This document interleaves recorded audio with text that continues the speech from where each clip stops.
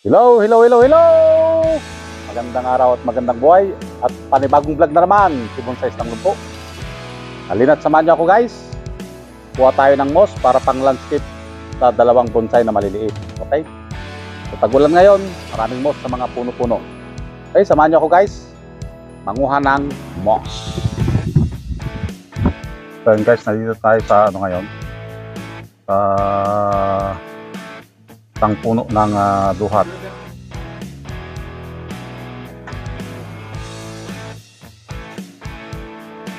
Yan, kumukuha ng moss.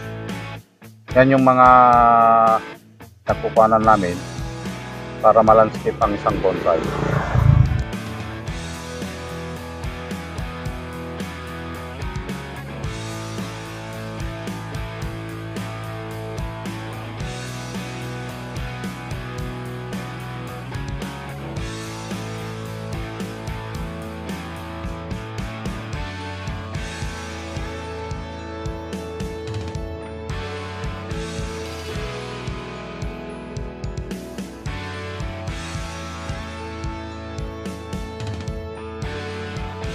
Yan guys, nakakuha na.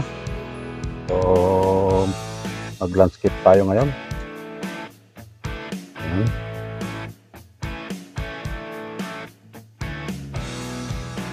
So yun guys, ah nakarating na tayo. Dito na yung ah, moss na kinuha natin. So, i-landscape natin tong dalawang maliliit na bonsai, okay? Para kasi tumawag na yung ah, nag-order nito na i-ready ko na daw. Okay? So, ang ginawa lang natin noon, winarshop natin at inayusan. So, ngayon, ito yung final ah, touch. Okay? So, nilagyan lang natin ng extension ito. Ang ah, gagawin lang natin dito is lalagyan ng moss. Okay? Pero itong isa, ito, dahil ah, maliit yung kanyang pot na pinaglagyan natin. So, nilagay ko lang ito dito para sa kanyang training. No, para hindi na mag-extend yung kanyang ah, ano. Dito natin lalagay, okay? Ah, parang plate. Yan, mapapansin nyo, mas maganda. Okay, malalandscape natin siya ng mas maganda. So, umpisa na natin.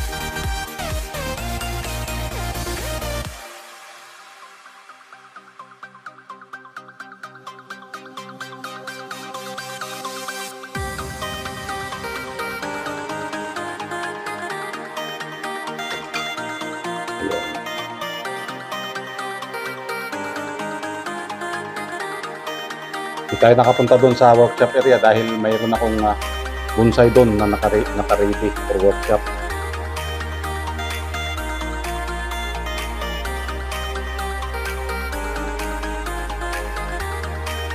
Iipitin lang natin to sa bata.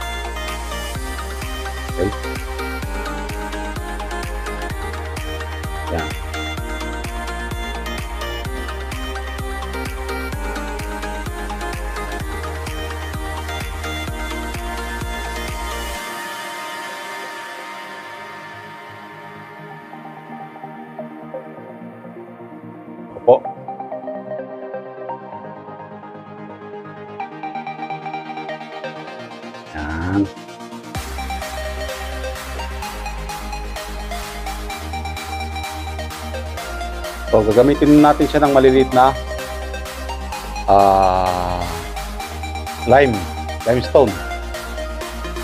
Okay, yung pang ano lang niya. Para hindi bumagsak yung kanyang lupa.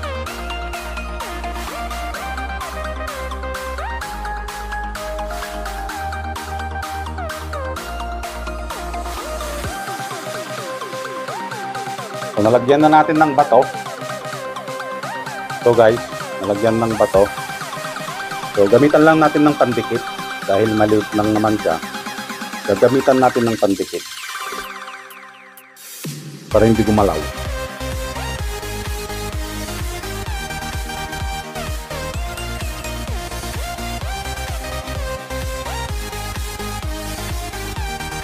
Parang whitey din. Pag kumapit, kapit na kapit. Pag kumalas ito, masisira, di ba? Katulad ng iyong relasyon. Kapag kumalas ang isa, masisira ang inyong relasyon. So, hinugutan na naman.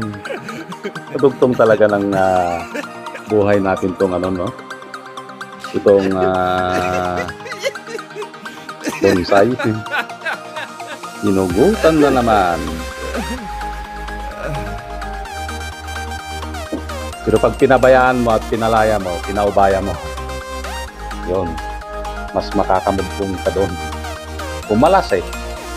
Parang sa white di ba? Dumikit ka tapos biglang nalagas kinabukasan. Yun lang. Kailangan natin ng pandikit.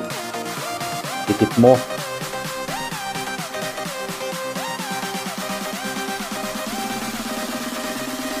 Dikit lang natin. Okay? So, ganito lang ang pag-landscape. So, ay uh, micro lang. Pang display lang ito, guys. Gagawin ko lang ito pang display. Ayan, dumikit na siya. So, ang mangyayari dito, guys, yung mga walang laman na lupa, nilalagyan lang natin. Kailangan natin ng stick.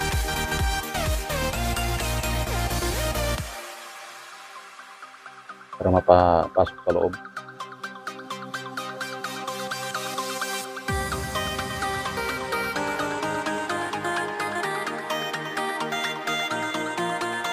So guys, natapos na natin lagyan ng ano, nalagyan ng uh, birmikas. Okay, birmikas yung inilagay natin. Ang susunod nating pang ibabaw is yung clay.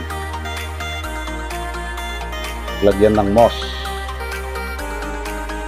most of all.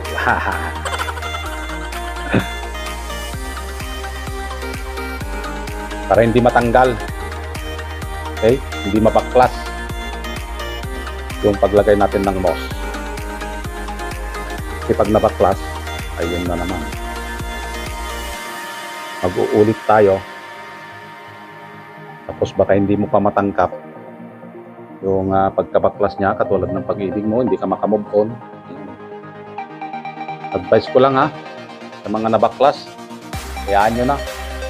Ipaubaya mo na yung kanta ni Moira. Shout out sa mga paubaya dyan. Ikaw camera paubaya ka ba? Yung taga video ko ang ating pamangkin parang paubaya din ito eh Shout out Jerome Balios. Paubaya ka din. yung kumukuha kanina ng ano guys. Kumukuha ng mouse. Paubaya din yun.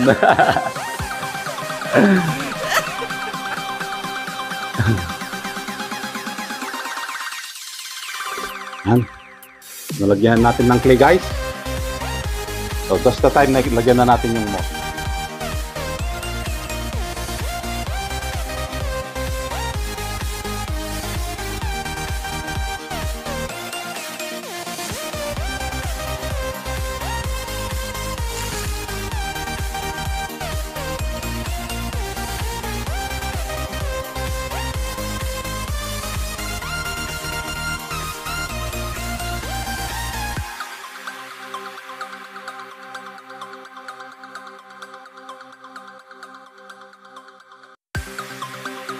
So, ayan guys, natapos na rin natin itong isa. Okay, so ito, mas madali. Na yung kanyang kinalabasan. So, pang display lang ito, pang center table. Yan. So, mamaya ipapakita natin dalawa. Okay, so sunod natin ito. Ito yung mga ano natin. Okay, makikita nyo guys. Ito na yung kanyang ano. Ugat.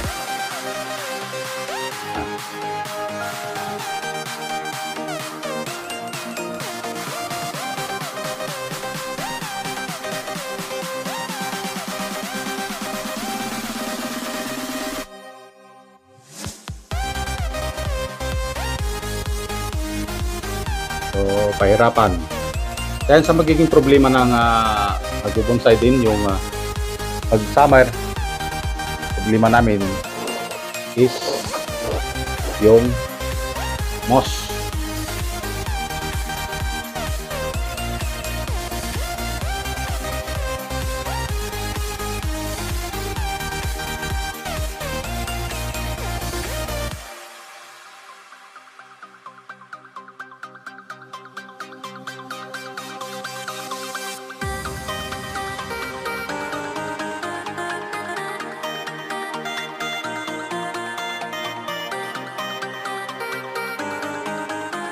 Yun.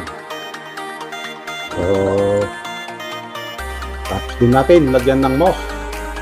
Nag-iba na yung kanyang itsura.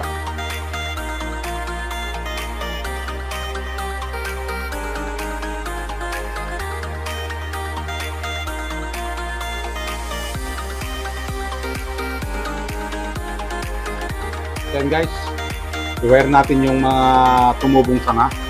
dapat nating i-wire para ano, maayos na din.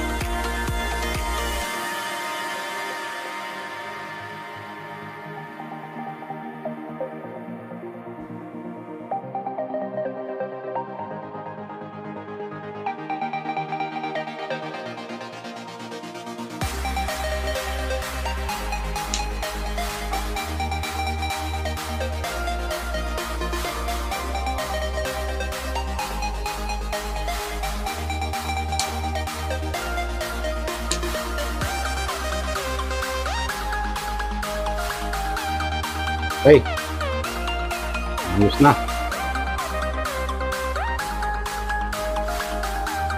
Kailangan pa. Guys, na-retouch ulit natin. Then guys, natapos din natin i-landscape ang dalawang function table na bonsai. Okay, so ito yung kanyang kinalabasan. Medyo may pagbabago. Nagbago ang kanyang itsura dahil nagkaroon ng balancing, may green dito sa kanyang baba. Okay? So may ah, mga ilang araw pa bago mag-recover itong ano. Bagamat hindi naman siya nasaktan dahil tinanggal lang natin doon sa kanyang pat. Nilip, kumbaga inilipat lang natin. Okay? Dito sa ah, parang plate. Okay? So camera, ipakita mo, lapit mo para ma ma-imagine nila yung kanyang ah, dito sa parting baba.